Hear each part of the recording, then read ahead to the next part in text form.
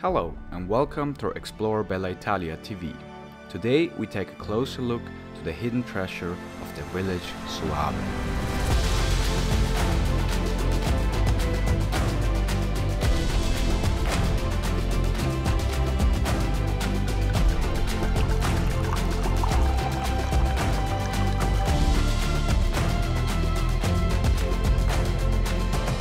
My name is Julian and I travel around Italy to show you the most beautiful places in this country. I just knew that Soave produces fantastic wine. Anyway, the first time I visited Soave I was blown away by the dominating castle and the way how it's built. I immediately knew that I want to know more about this place, its history and the wine culture. As I did some research I found out that This year, 2022, Soave was rated as the best uh, village in Italy uh, because really here you have uh, what we call uh, la, la, la bella vita. Uh, we have wine, we have food, we have history and art, so really you come to Soave to relax. You come here to enjoy the small things in life. And I'm here because I'm curious. Before we dive deeper into the topic of the wine tradition, I wanted to know from Sarah, who is responsible for the tourist office in Soave, about the history of Soave itself. What is interesting about the castle of Soave is that, uh, differently from our castle that was in East Verona, it's the most uh, uh, well conservative because it was so important for, for strategy economics that no one destroyed it. So uh, you have to think that in the Middle Age uh, this area was really important because uh, it was uh, a crossing of Roman streets, the Via Postumia, and so at the end of in South Soave there was this big road used for trade and for a lot of people were, were going here. And uh, it was also a place to check the north because from the north there could be invasions from you know German and uh, North Europe. So from Soave till the mountain uh, there are a lot of small castles, now mainly they don't exist uh, but they were there. And Soave was the first one. So this is why it was so important as fortress. It was uh, a military fortress, so it was a place uh, to um, defend the people and the soldiers. So uh, once you visit the castle, you see that there are three courtyards. It was a way to protect the inner part where you have a big tower uh, to defend people, to run there in case of invasion. The biggest battle that happened in Soave was called the Lega di Cambrai. It was even one of the biggest battles in Italy. The Lega di Cambrai was a military coalition against the Republic of Venice which took part in the year 1508. The walls around the village contains 24 towers to protect the inhabitants. Nowadays there are living about 600 people inside the walls. The records shows us that 366 people died in this battle. So you can imagine the losses they had to take. When Venice won the battle, they give a big flag to Soave to show them the appreciation of their loyalty to the Republic of Venice. Still today, on some special events, they're hosting the flag in the middle of the village on a stick that's called antenna. It's a piece of history that never got lost in the further generations of this strong village.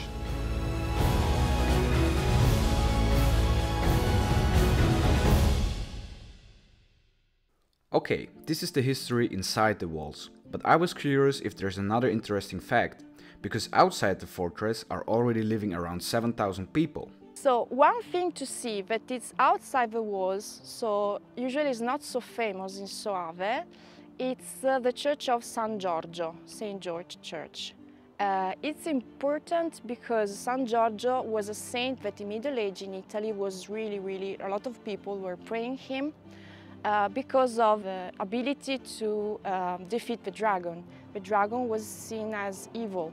And here in Soave, what was evil in the Middle Age? It was water. The river, uh, they had a lot of problem with floods. And in this church dedicated to him, you have a rib of a dragon. so uh, if you go in the church and you look up, you'll see it. And it was something really that people at that time believed in uh, to, to defeat evil, they prayed him to, for the diseases or uh, when they lost their home, uh, for, for the water, for the floods. Yeah, of course it's not a dragon rib, but it was a rib of a prehistoric animal that they found on the hills here. But let's then think it's a dragon. a dragon that's spitting fire all day long will get thirsty at some point, and so am I. So let's talk about the wine. But before we do that, I want to thank our sponsor for today's episode, the resort Corte Cavalli where you can sleep in a castle just 5 minutes from Lake Garda and 40 minutes to the village of Soave. You can find the link of this unique resort in the description below. Without wasting any more time, let's finally talk about the wine of Soave. I was lucky enough to get an appointment with Maddalena and Milena. They both work for the Cantina di Soave and I even was able to take a closer look how the wine is produced. My name is Milena. I've been working for Rocca Sveva Hospitality for almost five years and I've recently become a sommelier too. So Rocca Sveva is one of the seven uh, production facilities of Cantina di Soave that actually is our mother company. Uh, Cantina di Soave has a very long tradition because it was founded in 1898. Uh, nowadays, Cantina di Soave has become one of the most important cooperative wineries in Italy and abroad and has more than 6,000 hectares of vineyards and more than 2,000 wine members and wine growers. Rocca Sveva is um, the facility of Cantina di Soave where a very small selection of wines is produced. Imagine that every year we select uh, about 50 wine growers, although more than 2,000, uh, for producing these premium lime Rocca Sveva and the sparkling wines that we produce here. So in the shadow of the majestic medieval Soave castle, Rocca Sveva was uh, built and the galleries of Rocca Sveva were built starting from a shelter of the Second World War that was down here in the 40s. So starting from this pre-existing part, we started to dig in the late 90s and we created this um, town underground with thousands of barriques where our wines age for months and sometimes for years. So actually, um, when we started to dig across the Monte Tenda, the very first project consisted in going on straight. But at a certain point we had to stop because we found out an obstacle there was and still is a water spring in the rock. Uh, it started to be uh, an obstacle, but nowadays it has become a great present of the nature because it helps us to have constant temperature, cool temperature of course, of 14, 15 degrees, uh, always, and a high humidity tax of around 80 percentage. So it is the perfect, the ideal uh, condition for the uh, aging process of our wines. So I think that Soave wine is really special to me uh, because of its good balance. Uh, I think that it's a wine that has a very good part of acidity, freshness, that is due to the typology of grapes, of course, the Garganega, and the climate condition where the Garganega is cultivated but it has also a good part uh, of softness, of roundness that makes this wine unique, of course. And the most important uh, part for me of the uh, analysis of a Soave wine is the bouquet, because if you try to smell it, it is an explosion of fruitiness, blossoms, flowers, so it is very, very fruity and um, you can enjoy the power of Soave starting from the smelling and then going directly to the palate. Um, as Rocca Sveva is our selection, our premium line, we um, try to apply some rules in order to keep higher qualitative standards. So one of them is the hand picking of the grapes. So we think that um, uh, picking, harvesting by hands preserve the quality of the grapes starting from day zero, basically. Uh, then we deliver the grapes not in big containers, but we use uh, smaller ones that are called bins. Um, each bin contains about 200 kilos of grapes in order not to crush the grapes and not to uh, make very first uh, fermentation start during you know, the transportation between fields and cantina and winery. Of course, we have many more rules and guidelines to follow, but of course it is top secret for us. So Cantina di Soave has in the last years renovated its entire production facility, starting for example from the bottling line that can be considered actually one of the most technological even in Europe. And I totally understand why. I never saw a machine like this in my life before.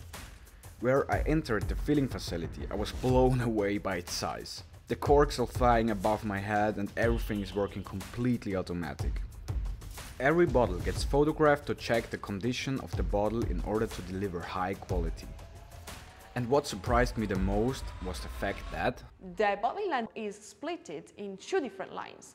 One is more dedicated to the still wines and the other one to the sparkling wines. Each hour we can produce up to 14,000 bottles. In total, 28,000 bottles per hour. I mean, just think about it 28,000 bottles of wine per hour. That leaves me with the question who is drinking this amount of wine? Nowadays, we export our wines all over the world, uh, in more than 60 countries actually. Uh, one of the most important markets for us is the north of Europe, of course, Germany, United Kingdom, Austria, all the Netherlands, and of course also Scandinavian countries are getting more and more important for us. Of course also United States as market for us as in the years become more and more important and American people can enjoy our wines also at home and they more and more buy our wines. So we can say that Soave can be considered a good amalgam of history with its medieval times and castle, um, wine tradition, quality. It can also be considered um, an outstanding um, garden because here we are surrounded by rolling garganega vineyards. Uh, so if you are a wine passionate, a wine lover, if you love drinking good wine, come to Soave because you will find medieval history, you will find a good glass of wine, of course, and you can come to visit us because it's worthy. I totally agree. I spent seven days in this village and explored unique events, lovely people, and a lot of history about the wine tradition and the castle. In short, Soave is a hidden treasure that you should explore. Thanks for watching and see you next time on Explore Bella Italia TV.